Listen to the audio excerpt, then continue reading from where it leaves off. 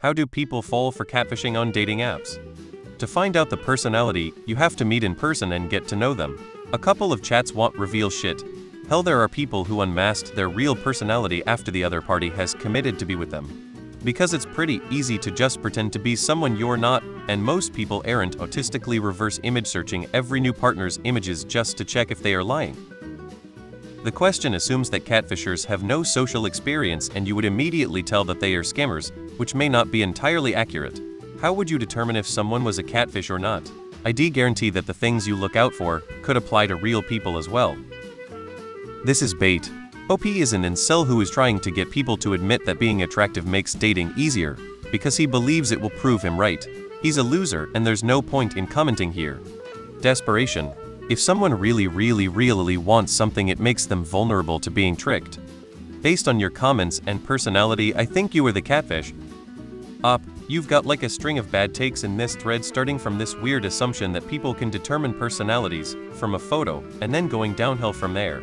The underlying implicit suggestion that dumb people deserve to be scammed is troubling. What the heck? Isn't catfishing just using someone else's photos? How would their personality make it obvious the photos aren't theirs? The same reason people fall for you want a free iPhone scams. They are not that bright. And they only go for looks and not personality, so they aren't paying attention to that. Some people make it their life's task to be as convincing as possible to scam people out of their money. Unfortunately, some people get really good at it and mix that with increased loneliness, and you've got a pretty potent mix there. Simple, people who catfish tell you everything you want to hear and show fake pictures of attractive people. Scammers are good at scanning man. If they weren't people wouldn't get scammed. People go to some pretty extremes sometimes. I got catfished once by a girl that used her sister's pics and even had her send some snapshots to keep things believable. When I met her it was fairly obvious that it was a catfish. The girl I thought I was talking to was thin and attractive.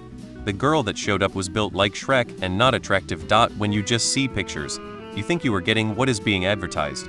The person could be a great match interest and personality wise, but they know you wouldn't swipe on them with their appearance, so they hope that you just look past that. Some people do, I am not one of those people. I guess we underestimate people's loneliness and stupidity for some. Never underestimate loneliness and desperation. Sometimes truths can be hard to accept.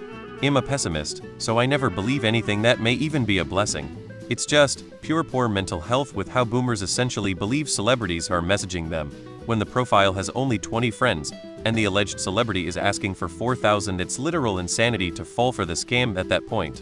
I'm far from beautiful. But I don't even believe it if a man messages me claiming to have a driver's license and a car anymore.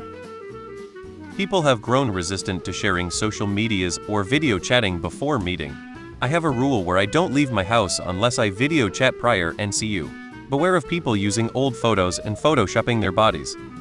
I got to know my friend got scammed by two fake accounts. He was stupid enough to pay them money for webcam shows which never happened. His reply is that he was horny. Horny ass, lonely ass, or both. Most people who fall for catfishes are extremely desperate or have big mental struggles. And let that be the people a catfish will prey on.